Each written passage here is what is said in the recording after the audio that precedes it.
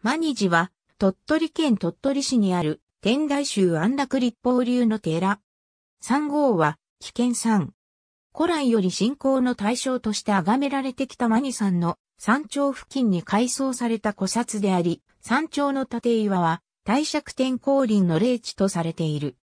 寺に伝わる、マニジ大釈天皇演技によれば、平安時代の初め頃、高草郡の三味長者が、危険山に登ると、立岩に大釈天が降臨し、今よりこの峰に鎮座して、主情を救い、中んずく五章の身である女人を再度しようと告げた。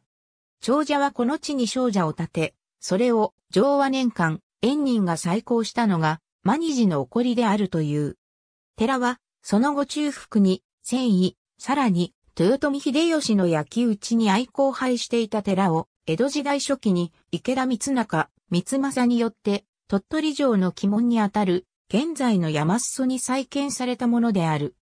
大釈天降臨伝説やママコ都市の滝の伝説は地形や古い地名から考察すると元は山筋を隔てた援護寺方面にまつわる伝説であったのを江戸期から第二次世界大戦前にかけて流星を極めたマニジの伝説として伝えられるようになったものとする説が存在する。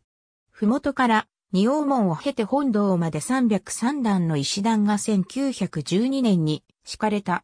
石段脇には石塔が列していたが、昭和18年鳥取大震災で倒壊した。また境内から、帝釈天降臨伝説の建岩、奥の院、西の河原へ至る参道が整備されている。現在、奥の院の寺跡が調査研究されている。本堂前から如来堂を望む石段。ありがとうございます。